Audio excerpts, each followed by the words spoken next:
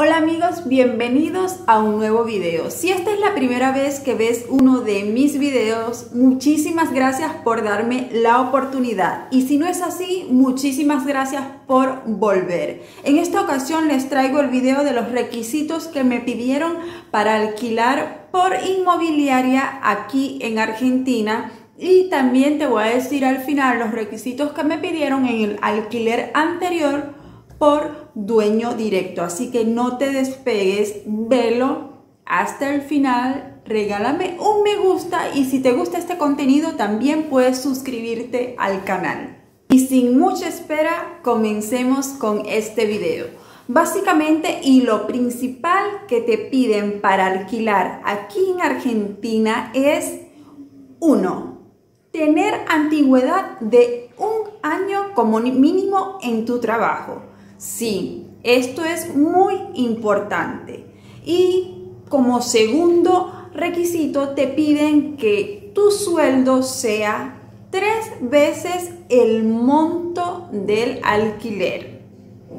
Ahora, aparte de estos dos requisitos, los cuales son sumamente importantes, te van a pedir tener dos garantes. ¿Por qué dos garantes? Porque si en algún momento no pagas el alquiler, ellos tendrían la obligación de pagarlos. En esta ocasión, eh, a mí me pidieron dos garantes, pero como mis dos garantes no cumplían como el monto de lo que ellos pedían de recibo de sueldo para garantes, me pidieron tener un tercer garante, lo cual eh, se los llevé y entre los tres garantes sí dio el monto el cual ellos exigían como inmobiliaria. Ahora, ¿qué deben tener estos garantes para poder ser aprobados? Primeramente, no deben aparecer en el veraz. Si no lo sabes, el veraz aquí en Argentina es básicamente como que el ente que se encarga de ver o de saber si tienes, por ejemplo, alguna deuda de que no pagaste o que no hayas pagado. Por ejemplo, si dejaste en deuda cualquier tarjeta de crédito y pasó mucho tiempo, créanme que vas a estar en el veraz.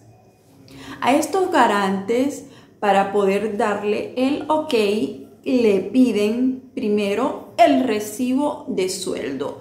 Como segundo, le piden tener un, también presentar, mejor dicho, un recibo donde aparezca su domicilio.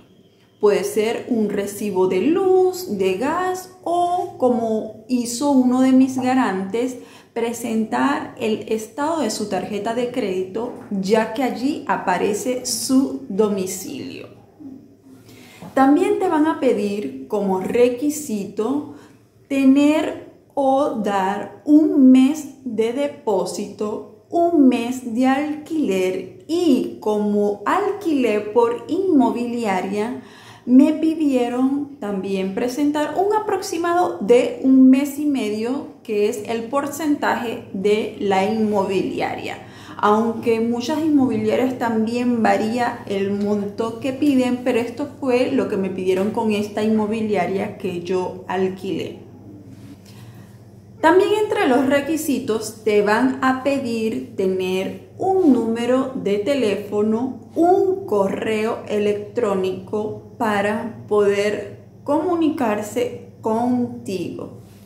Básicamente los requisitos son muy normales, pueda que cambie los requisitos entre provincias. Sara te queda en la provincia de Buenos Aires y no he conocido a personas que le pidan requisitos diferentes a los cuales yo he presentado en esta inmobiliaria. Recapitulando un poquito, tener un año como mínimo de antigüedad en tu trabajo que tu sueldo sea por lo menos tres veces el monto del alquiler. Tener dos garantes y tanto tú como tus garantes deben presentar el recibo de sueldo, un número telefónico y un recibo donde aparezca tu domicilio.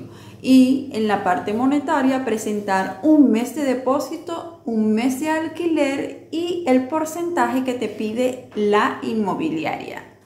Lo que varía un poco de alquilar con inmobiliaria y alquilar con dueño directo es básicamente el porcentaje que te pide la inmobiliaria porque el dueño directo no te lo pediría. Con dueño directo fue nuestro alquiler anterior y para esto el señor solamente nos pidió un garante, un mes de depósito y el mes por adelantado del alquiler no tienes que presentar dos o tres garantes. También va a depender del arreglo que llegues con este dueño directo. Por ejemplo, también puede existir con cualquier dueño directo que no te va a pedir tantos requisitos. Hay unos que piden nada más lo básico, que sería el mes de depósito y mes de alquiler, y no piden garantes, como hay otros que sí. Si vives en otra provincia y de repente te pidieron unos requisitos los cuales no lo nombré, podrías también dejarlo en los comentarios, así ayudarías a otras personas que están buscando información sobre cómo alquilar en Argentina.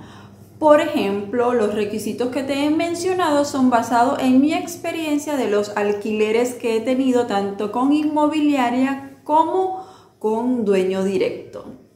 Espero que este video te sirva muchísimo y puedas también, por favor, regalarme un me gusta y dejarme un pequeño comentario. Y si llegaste hasta el final del video, déjame un emoji, por ejemplo, una manzanita. Así sabré que llegaste hasta el final del video.